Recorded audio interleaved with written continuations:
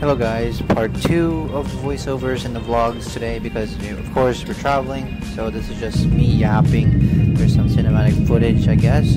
Um, our flight was delayed by 2 hours, it was quite annoying actually. But anyways we landed around I think 5 p.m. or 6 p.m. We were supposed to land around 4.30 so it was late. This is us getting off the plane. This is us just taking random pictures.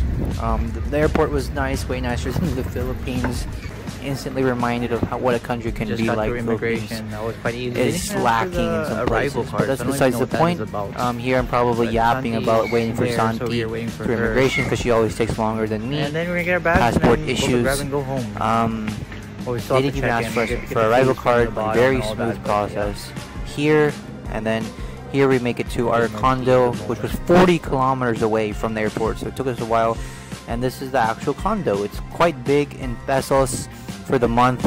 It was 58,000 pesos. But remember, this is including Airbnb and the host's uh, profit margin. So probably we're probably looking at like this actually being around 30,000 pesos, which is